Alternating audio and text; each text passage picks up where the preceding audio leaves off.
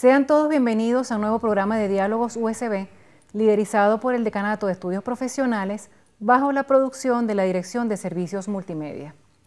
Quien les habla, María Gabriela Gómez, decana de Estudios Profesionales, tiene el enorme placer de contar con la presencia como invitado en este espacio del doctor Cristian Álvarez, quien es profesor del Departamento de Lengua y Literatura de la Universidad Simón Bolívar, con quien estaremos conversando sobre la lectura en los estudiantes que ingresan a las universidades.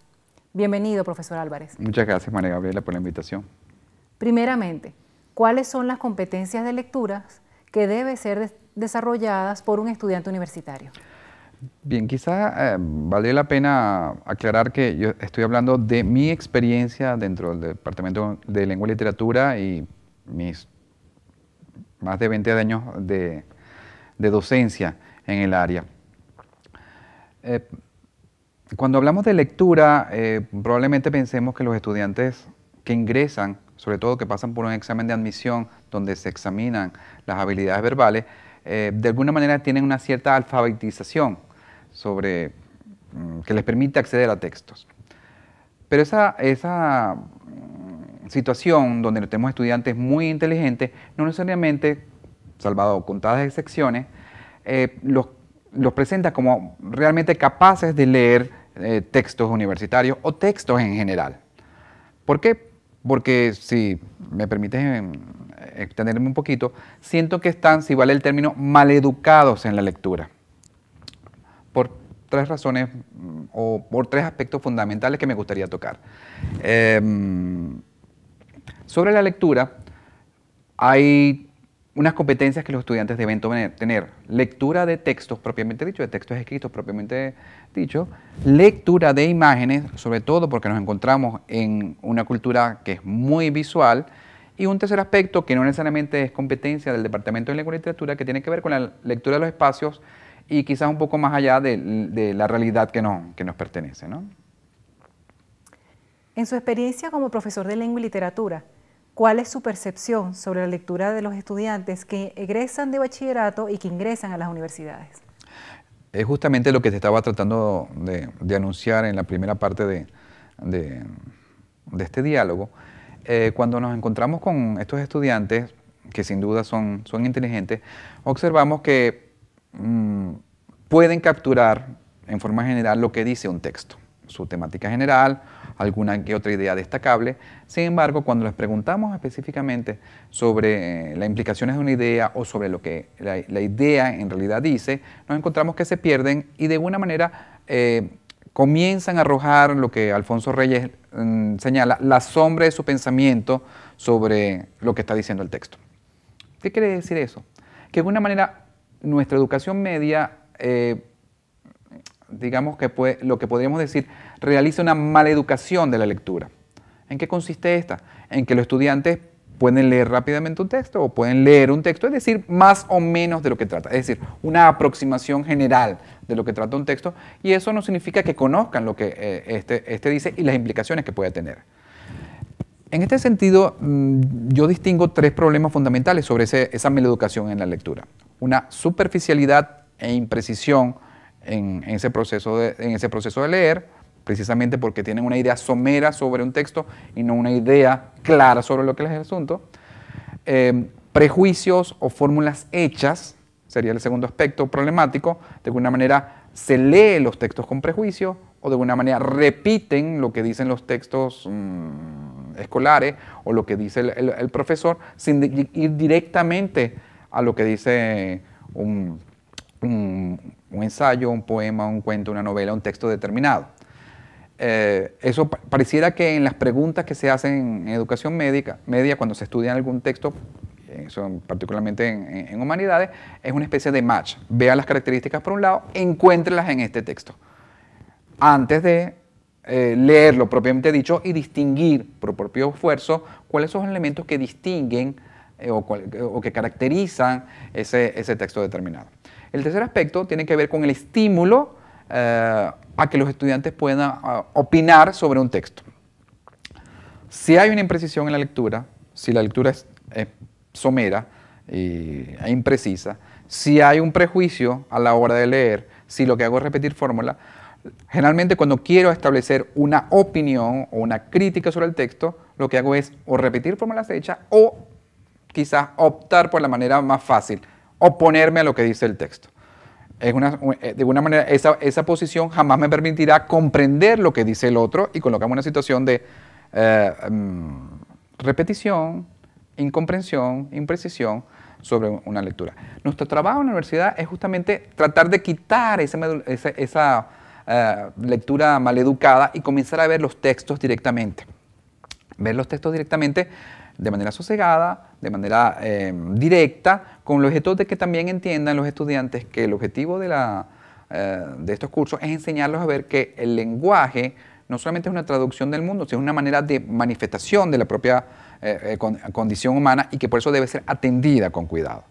Fíjate que estoy hablando del lenguaje escrito, pero eso también es aplicable en el caso, en el caso de las imágenes. ¿no? Estamos inmersos en una cultura visual, curiosamente, ¿no?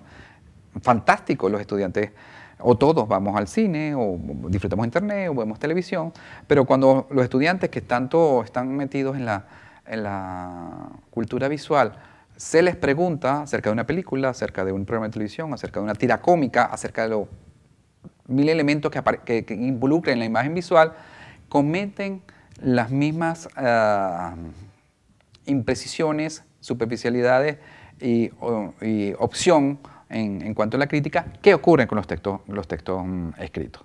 De alguna manera hay que también enseñarlos a leer la imagen visual que resulta tan fundamental en nuestra cultura actual. De manera que el Departamento de Lengua y Literatura lo que procura es enseñar a leer y escribir con sentido. Eh, sobre la escritura podemos hablar en, quizás en otro diálogo, pero este proceso de lectura que resulta tan fundamental busca justamente eso, que los estudiantes atiendan que los estudiantes atiendan con cuidado, con sosiego, que comiencen a degustar, y degustar es una palabra que todos conocemos en, el sentido culinario y en el sentido de, disfrute, comiencen a degustar para ver las particularidades que tienen las manifestaciones eh, literarias, las manifestaciones textuales, entendiendo el texto como también las imágenes visuales, las imágenes mm, escritas. ¿Cuál es el impacto del desarrollo de la tecnología, particularmente del Internet, en el tema de la lectura en estas generaciones? Este, fíjense que uno podría pensar que en el, estamos fijándonos exclusivamente en, los textos escritos, estoy hablando particularmente de literatura, pero el, el hecho de Internet, y fíjate que subrayo el hecho y no, no subrayo el problema, el hecho de Internet es que potencia cualquiera de, las mm, situaciones con respecto a nuestra posición respecto a, los, textos, a los textos escritos, los textos de, imágenes visuales. ¿Qué quiere decir potencia? Puede ser excelente o puede ser mm, terrible. En Internet hay que leer. El punto es que la misma tecnología o el mismo medio de comunicación eh, está enfocado hacia la búsqueda de información de, manera veloz. ¿Qué quiere decir eso? La mirada detenida muy pocas veces eh, se consigue. De alguna manera, lo que intentamos también en el Departamento de y Literatura es que se potencien las posibilidades de Internet para poder leer también. Es decir, por supuesto que hay que utilizar Internet, te ofrece unas ventajas eh, valiosísimas, pero también puede potenciar los problemas que estaba subrayando anteriormente. Además de otros problemas éticos que son graves, como es el caso del copiar, cortar y pegar, con que se enseñó de alguna manera, no intencionalmente, pero se enseña cuando se piden trabajo en educación media en, los procesos de investigación. Investiga un trabajo sobre tal, tema, los estudiantes, por supuesto, con la facilidad que ofrecen antes las enciclopedias, ahora Internet directamente, los estudiantes simplemente consiguen la información, pero no leen la información. Consiguen la información, la copian, la cortan, la pegan y tienen el trabajo. Muy bien, si lo que queremos formar es buscadores de información, bueno, no, hay problema, nos, damos el título de Google. Pero si lo que queremos es ser lectores que eh, empiecen a integrar eh, sus conocimientos, que empiecen a reflexionar de manera madura, que empiecen a establecer relaciones de, de, los textos con su propia condición o con la realidad a la que pertenece, necesitamos enseñarlos a leer de otra manera. Incluso Internet que ofrece tantas potencialidades y tantas facilidades. Finalmente, en su experiencia en el tema, ¿Podría usted proporcionar algunas recomendaciones que permitan resolver o mejorar en el corto, mediano y largo plazo la problemática descrita? Bueno, como te decía, en el, en el Departamento de Lengua y Literatura procuramos justamente establecer eh, esta, esta manera de enseñar a leer, ofreciendo justamente la conciencia sobre el lenguaje. Es decir, tratar de enseñar a leer a los estudiantes es una especie de alfabetización de otro orden que busca justamente el sosiego, la atención al texto propiamente dicho y el ejercicio del criterio a partir de lo que se conoce, no simplemente como una mera reacción eh, para yo afirmar mi personalidad. Conocer antes de poder eh, eh, em, lanzarnos a, el ejercicio de, de una opinión gratuita. Ese sería el asunto. Entonces, enseñarlos a leer con cuidado. ¿Cómo se traduce o cómo entendemos esa, lectura propiamente dicha? Tienen que elaborar textos. Elaborar textos desde, el punto de vista argumentativo, desde el punto de vista em, reflexivo, que empiezan a establecer relaciones entre las ideas con el objeto de que se encuentre la formación de pensamiento. La idea no es que hagan cosas nuevas, la idea es que se origine desde ellos mismos un pensamiento. Eso es lo que procuramos hacer en el, Departamento de Lengua y Literatura con los cursos de lenguaje 1, 2 y 3 que pertenecen al primer año. Un segundo aspecto tiene que ver con eh, el decanato, los, cursos de estudios generales. Los cursos de estudios generales, al menos en el Departamento de Lengua y Literatura, subrayan ese mismo elemento por su propia naturaleza. Pero además de eso, quieren también enseñar que hay una manifestación del hombre, una manifestación del ser humano que se traduce en la experiencia artística, bien sea en los textos literarios o bien sea eh, en imágenes de arte y del cine, por decir algunas. Eso también tiene que ser leído y, de alguna manera las pautas para ser leído este, necesitan otras, otras, estrategias, pero en esencia tienen que ver con la atención dedicada eh, y, sosegada con la intención de descubrir propiamente lo que, lo, lo que ofrece ello.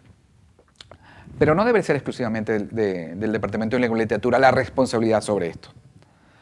Justamente en los lineamientos de estudios generales eh, que se hicieron en 1998, hay una segunda parte donde se especifica eh, eh, un elemento que tiene que ver con la expresión escrita como un elemento fundamental dentro del objetivo de los estudios generales.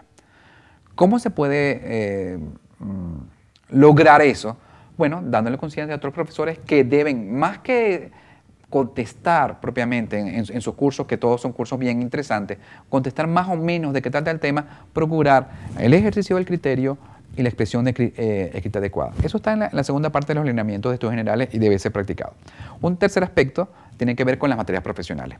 Próximamente en septiembre de, 2011, una de nuestras compañeras, Isabel Martins, va a abrir un curso que se llama Alfabetización Académica en los cursos eh, profesionales en los cursos profesionales. Es decir, que no necesariamente en el Departamento de Lengua Literatura, ni siquiera en la División de Ciencias Sociales y Humanidades, sino en otras, materias, evaluar la escritura y la lectura como elementos eh, cruciales a la hora de formación en la especialidad profesional. El, el, asunto puede ser bien interesante, ya hay algunos inscritos, esperemos que eso pueda tener sus efectos positivos y pueda regarse a nivel de toda la comunidad universitaria.